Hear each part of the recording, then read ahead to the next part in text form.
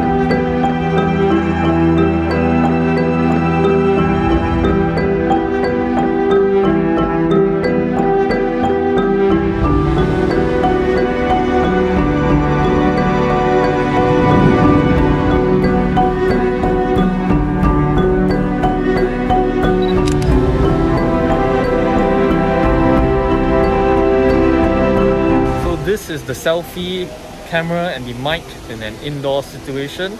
It is 8.30 so it's dark outside but we have lights on the inside.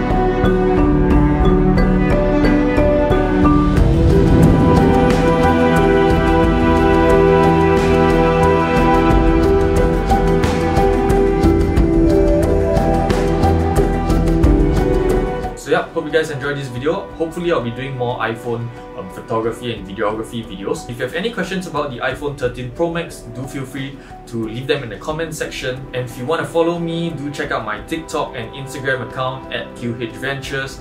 And if not, I'll catch you next time. Bye!